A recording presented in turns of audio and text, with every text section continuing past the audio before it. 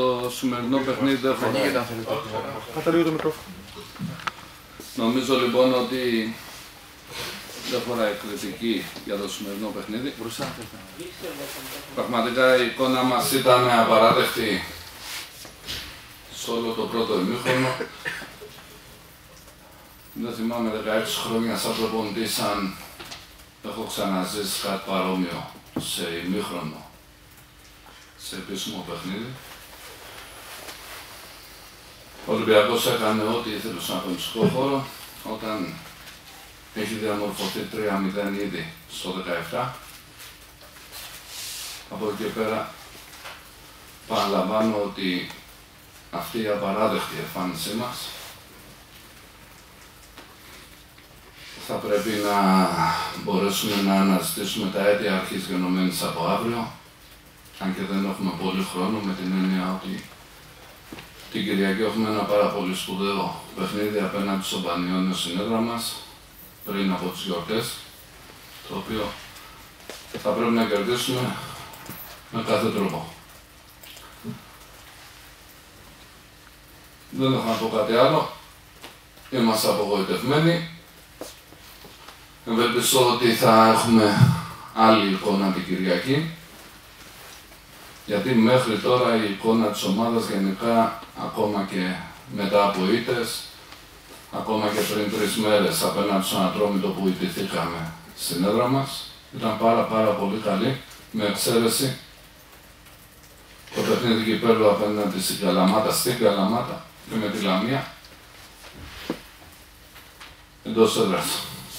Αυτή ήταν η τρίτη χειρότερη εμφάνιση, αλλά επαναλαμβάνω ότι θα πρέπει αύριο να αναζητήσουμε τα αίτια και να κοιτάξουμε να κερδίσουμε την Κυριακή.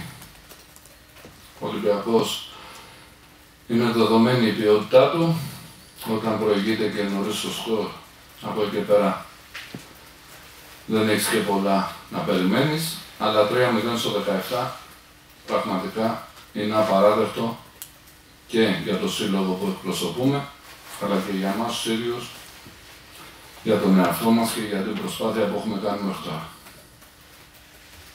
Αυτά. Υπάρχουν ερωτήσεις; Ναι. Καλησπέρα σας. Yes. Ε, τι πιστεύετε ότι έφτεξε και είχε αυτή την εικόνα η ΑΕΛ, ειδικά στο πρώτο ημίχρονο. Εντάξει, στο ημίχρονο και ο Ολυμπιακός έτσι κατεβάζει ταχύτητα, αλλά τι έφτεξε, τι θεωρείτε ότι... Αυτό είπα, ότι δεν, έχουμε, δεν πήγαμε καν στο παιχνίδι. Δεν ξέρω. Ξεκινήσαμε με ένα σχηματισμό το οποίο το γνωρίζουμε πάρα πολύ καλά. Ξεκινήσαμε στο να κλείσουμε χώρους με 3-5-2, να μπορέσουμε να κλείσουμε χώρους. Βάλαμε τρεις κεντρικούς αμυντικούς. Παρ' όλα αυτά, ο Ολυμπιακός έκανε ό,τι ήθελε στον αγωνιστικό χώρο. Και πηγαίναμε δεύτερη στα μαργαρίσματα και πηγαίναμε πολύ εύκολα και από τον άξονα και από τα άκρα. Στα μεσοδιαστήματα ήταν μόνοι τους. Όλα αυτά λοιπόν συνετέλεσαν στο να διαμορφωθεί, επαναλαμβάνω, στο 17 το 3-0. Υπάρχει άλλη ερώτηση; Ναι. Coach όμως δεν είναι την πρώτη φορά όμως που η ΑΕΛ δέχεται τόσο εύκολα γκολ και νωρίς έτσι και με τον Άρη και με τον Όφ και με τον Ατρόμητο. Στο πρώτο τάρτο είχε δεχτεί δύο γκολ νομίζω στα δύο πρώτα μάτια. Τόσο προβληματίζει. Τι πού οφείλεται Ε, δηλαδή; Σίγουρα με Γιατί προβληματίζει. τόσο λαθρά μπαίνει η ομάδα σε τέτοιο παιχνίδι. Δεν μπορώ να το εξηγήσω. Δεν έχω εξήγηση γι' αυτό. Πραγματικά προσπαθούμε να βρούμε τι μπορεί να φταίει. Αλλά δεν μπορώ να το εξηγήσω. Βέβαια το σκεπτικό μας στα περισσότερα παιχνίδια είναι να είμαστε να μπορέσουμε να έχουμε ισορροπία στο παιχνίδι μας και στην άμυνα και στην επίθεση. Αλλά εν αντιθέσει με τα προηγούμενα χρόνια που η συγκεκριμένη ομάδα έδινε μεγαλύτερη έμφαση στην άμυνα. Αλλά από το ένα σκέλος στο άλλο, το να δεχόμαστε όπως το λέτε και εσείς και έχετε δίκιο γιατί και εμείς πραγματικά προσπαθούμε να το αλλάξουμε αυτό, Μένοντα στα παιχνίδια να προηγείται άμεσα ο αντίπαλος, αποτελεί ένα μεγάλο πρόβλημα για εμάς και σε κάθε παιχνίδι κάνουμε προσπάθεια να μπορέσουμε να ξαναμπούμε στο παιχνίδι, άλλες φορές να το γυρίσουμε όπως το έχουμε γυρίσει. Δύο φορές. Τρεις. Και αυτό κάνει ακόμα πιο δύσκολη την προσπάθειά μας κατά τη διάρκεια του παιχνιδιού. Υπάρχει άλλη ερώτηση, ναι. Κύριε Βασιλείου.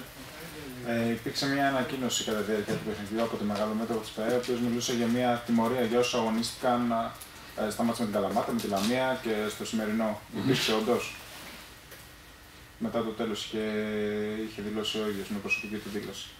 Ναι, ο πρόεδρος έδωσε αποδητήρια και είναι λογικό να θέλει να επιβάλλει ένα πρόσημο στους παίχτες, το οποίο θα ανακοινωθεί από τον ίδιο.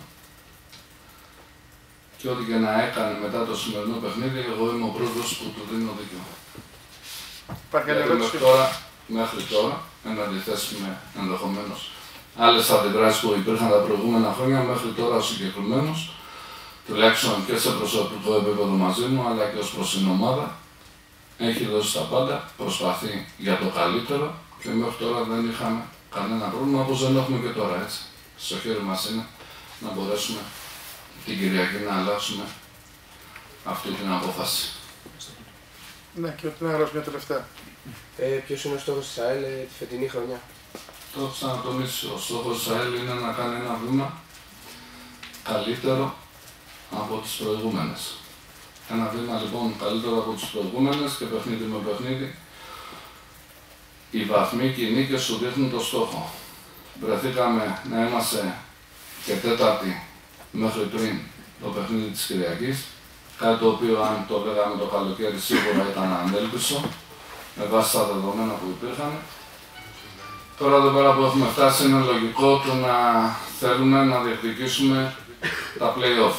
Αλλά σίγουρα δεν μπορούμε να παραγνωρίσουμε μια προσπάθεια που έχει γίνει μέχρι τώρα και δεν μπορούμε να τα κρεμίσουμε όλα ούτε σε ένα ημίχρονο, ούτε σε ένα, ούτε σε δύο παιχνίδια. Το ότι η ΑΕΛ ήταν και τέταρτη πριν την Κυριακή και παραμένει ψηλά στο βαθμολογικό πίνακα ακόμα και τώρα που μιλάμε. Ευχαριστώ πολύ. Ευχαριστούμε.